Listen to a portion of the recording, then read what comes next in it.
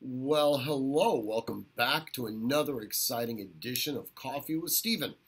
So, this week's blog is entitled HR 838.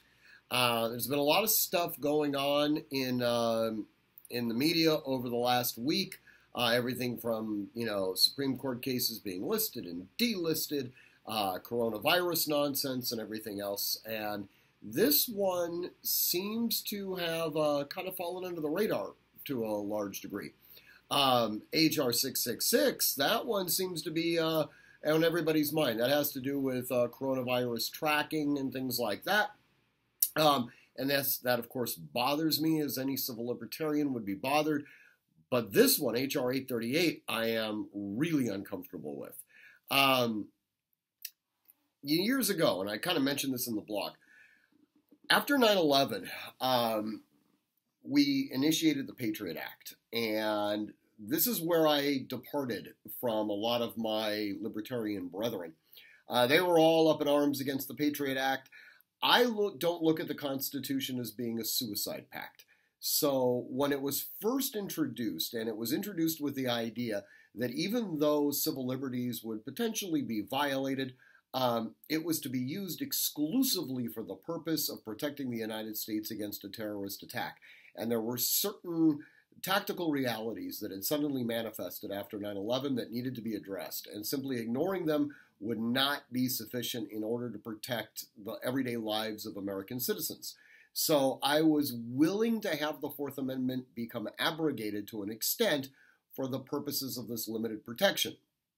A few years later, I was driving back from the gas station going home when I heard a news story where a U.S. attorney was boasting about the fact that because of the Patriot Act, they were able to use certain surveillance mechanisms that were would essentially allowed them to uh, bust drug dealers. And I almost drove off the side of the road.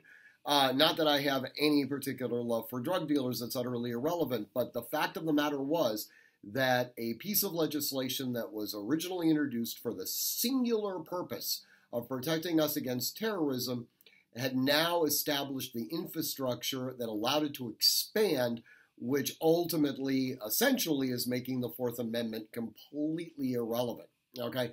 Um, I don't mention this in the blog, but it's another corollary story number of years ago, when Obama was first elected president of the United States, I happened to be at the gym and I ran into uh, a, high school teacher that I'm pretty good friends with, who happened to be there as well. And he's very, very liberal. He was extraordinarily excited about the fact that uh, we now had President Obama as opposed to candidate Obama.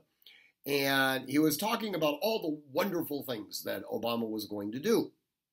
And I explained to him that as president was building all of this architecture, building all of this infrastructure, I really counseled that he should have some degree of pause because at a certain point in the future, it would be inevitable that somebody from a political party, not his, would ultimately take power and be able to use all of that infrastructure and all of that architecture for things that he may not necessarily agree with.